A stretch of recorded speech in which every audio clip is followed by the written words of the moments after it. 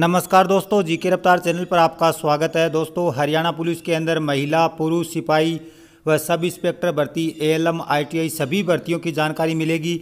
पुरुष सिपाही का भी रिज़ल्ट रिवाइज होगा या नहीं, इसके बारे में भी आपको बताएँगे। वीडियो के साथ अंत तक बने रहें। सबसे पहले बात करते हैं, हरियाणा पुलिस, पुरुष व महिला सब इंस्पेक्टरों की ज्वाइनिंग कभी भी संभव? हरियाणा कर्मचारी चयन आयोग ने पुलिस महानिदेशक को लिखा पत्र। पुरुष सब इंस्पेक्टर के 48 व महिला सब इंस्पेक्टर के 10 उम्मीदवारों की ज्वाइनिंग रोकी गई है। इन सभी ज्वाइनिंग रोके गए कैंडिडेट को छोड़कर बाकी जिन कैंडिडेट की सभी कुछ ठीक पाया गया है, जिनकी बायोमेट्रिक वगैरह सही हो चुकी है, उन सभी कैंडिडेट की ज्वाइनिंग जल्द करवाई जाए, इसको लेकर आयोग ने पत्र लिखा है।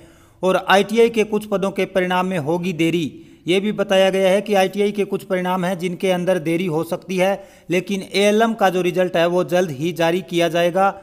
पुरुष सिपाही पद का परिणाम घोषित होने में समय लगेगा।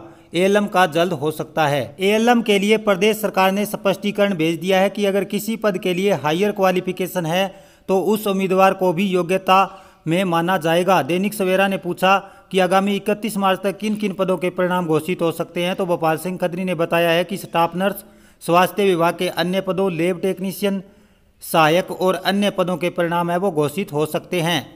इस दूसरी खबर के अनुसार हरियाणा कर्मचारी चयन आयोग करेगा महिला, पुलिस, सिपाही और कलरक के पदों के परिणाम में बदलाव।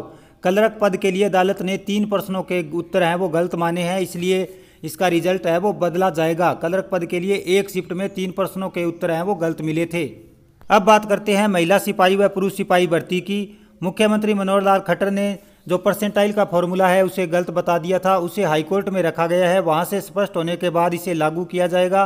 तो लगभग 200 उम्मीदवार है, वो चयन सूची से बाहर हो सकते हैं। नए परसेंटाइल का जो तरीका है, वो उसके मुख्य बिंदु इस प्रकार है कि यह हर शिफ्ट में हुई परीक्षा के अनुसार तय होता है। न कि सभी शिफ्टों की संयुक्त परसेंटाइल तरीके से होता है। इसका असर अब जहाँ महिला पुरुष सिपाही भर्ती पर पड़ेगा, वहीं पुरुष सिपाही पद के लिए भी चयनित प्रक्रिया पर पड़ेगा। इसका मतलब यह है कि पहले जो परसेंटाइल का फॉर्मूला था, वो सभी शिफ्ट पर एक साथ लगाया गया था। अब अलग अलग शिफ्ट पर लगाया जाएगा।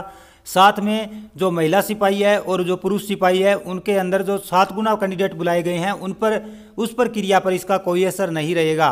जो फ़िज़िकल के लिए बुलाए गए थे, उस प्रक्रिया में किसी प्रकार का कोई बदलाव नहीं होगा, ऐसा भी स्पष्ट किया गया है। तो दोस्तों, ये कुछ महत्वपूर्ण अपडेट थी जो आपके साथ शेयर करनी थी। चैनल पर पहली बार आ रहे हैं तो सब्सक्राइब कर सकते हैं। वीडियो को लाइक करना न भूलिएगा। वीडियो देखने के लिए धन्यवाद।